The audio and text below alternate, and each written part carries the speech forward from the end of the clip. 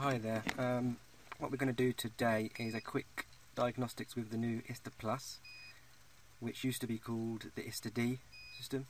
It's the BMW and Rolls-Royce, Mini, etc. Uh, dealer diagnostic system for uh, those vehicles, those brands. And um, as you can see, this version is actually version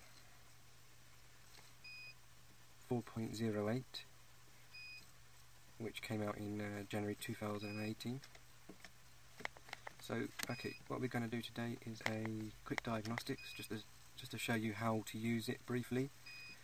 So once you've loaded it up you want to go to you want to make sure operations new and either VIN readout data is checked. In my case I'm going to do readout vehicle data. And then down the bottom here I'll choose complete identification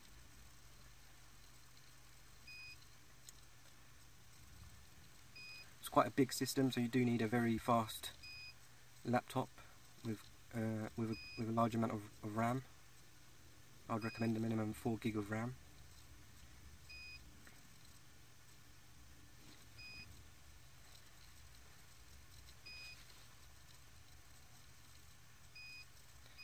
So what it's doing now is picking up the VIN and other information about the vehicle such as the engine number or the engine type And as you can see at the top here, you've got the last seven digits of the VIN. It's a 1 Series E81, etc. The system will automatically go to the next page, which is um, the control tree, as you can see here, it's highlighted up here.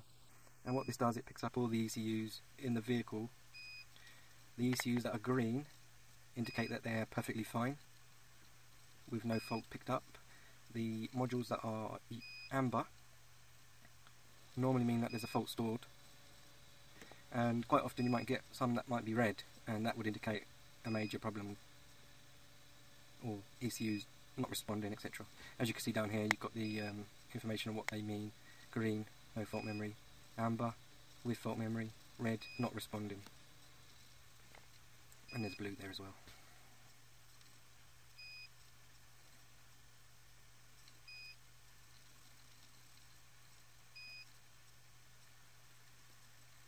There is known faults with this vehicle, including deployed airbags, so um, I know exactly what the problems are.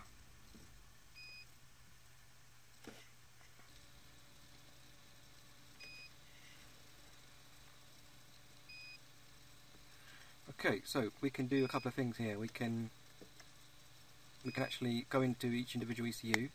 So you just highlight it. For example, I'll, I'll highlight this uh, the DDE which is the diesel fuel electronics. Um, and then you can call up ECU functions down here.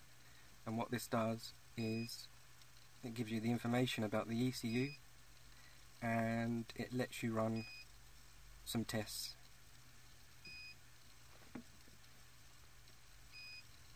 This, this system is a little bit slow because it is a customer's laptop that they have supplied myself for the installation of ISTA.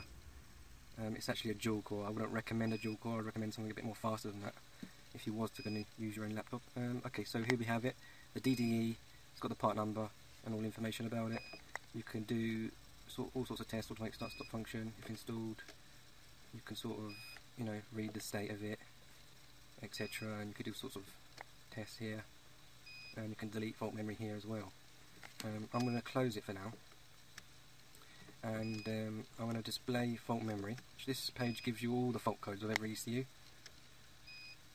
Um, DD, yeah, at the top here.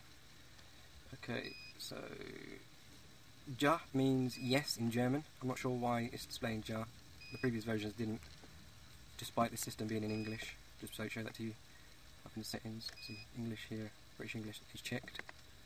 Um, so uh, I'm not sure why it says Ja. And no, as in any faults? No. It displays in English.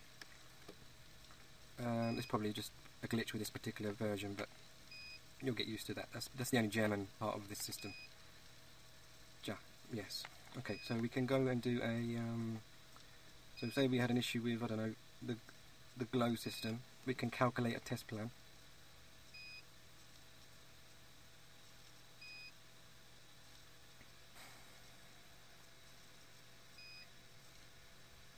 Lot of faults on this vehicle, so it's running a little bit slower than it would. Plus the slow laptop, but we'll get there in the end.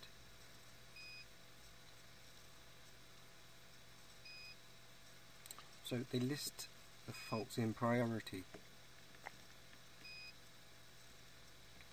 Um, so let's just let's just stick to the top here. Safety system ignition circuit. So you'd highlight that display. And then what this would do is give you a bit more information about this issue, including wiring diagrams. Because, yeah, it's, it's the airbag system, so like I say, I know the fault with this. I don't need to look at any of the wiring diagrams, but you can see you can see that they've all come up. It's, it's a complete system with the wiring diagrams built in, into it as well. And um,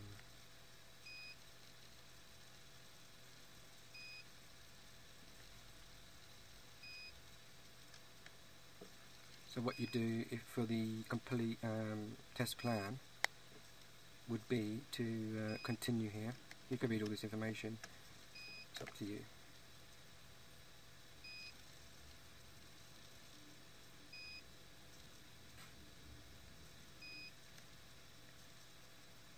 And it basically gives you a guided test. Um, so we know that all these airbags are actually deployed, including the belt tensioners. Um, there's no description for this fault code because the description is actually here. So fault code 0093A8 is the driver's airbag is deployed, which is the um, I believe that's the uh, steering wheel airbag. And the tensioners as well, belt tensioners, battery terminals gone and you can continue um, doing the uh, fault finding. If you wasn't sure what the fault was at this stage you can continue. And um, it will take you through like I say guided tests. And it's really as simple as that. Um, and uh, there is another to close it down by the way you just you just close this little cross here just a quick um, tutorial I want to show you how to open and use, uh, well not use but just open ISTA-P. Um, so it's quite a big program. Once you launch ISTA-P from the desktop you'll be, be presented with a menu and you have to pick the, um, the, option that suits your needs. So the first one is for BMW vehicle uh, cars, second one is for BMW motorbikes, electric vehicles, minis and Rolls Royces. So um, I'm just going to pick the first one for the sake of this video. And what you'll see down here is to be started. You see a little grey box down here and this will take a couple of minutes to load up. It'll be quicker on a, like I say, on a, on a faster laptop.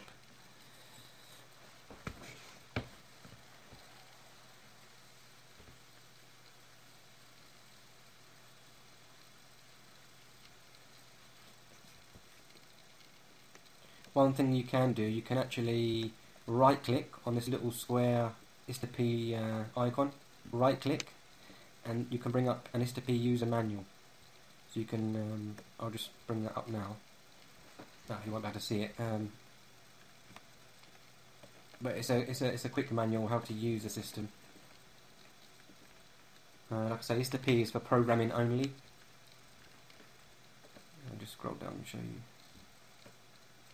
lots of information here on how to use it.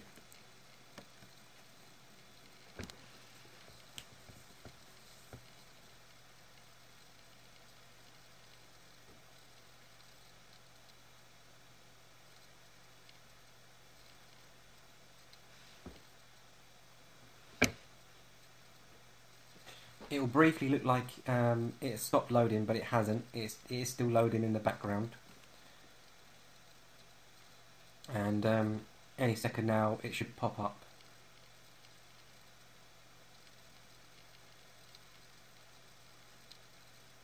So there's one thing to note, you shouldn't be running ISTA Plus and ISTA P at the same time. You must run each program separately, close them down thoroughly before using the other one. And um, more so with ISTA P, you must close ISTA-P down thoroughly before shutting down the laptop. Failure to do so will result in um, a corruption of ISTA-P and it will need to be um, repaired.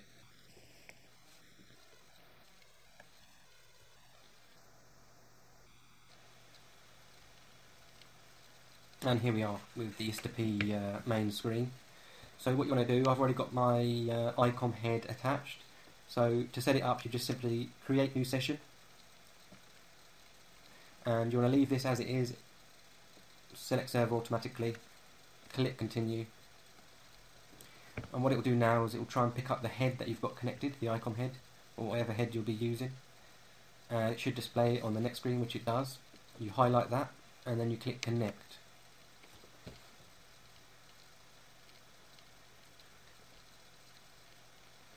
and then it will start trying to pick up the vehicle but I don't have a vehicle connected so it's not going to pick anything up. So for now um, I'm going to close this down.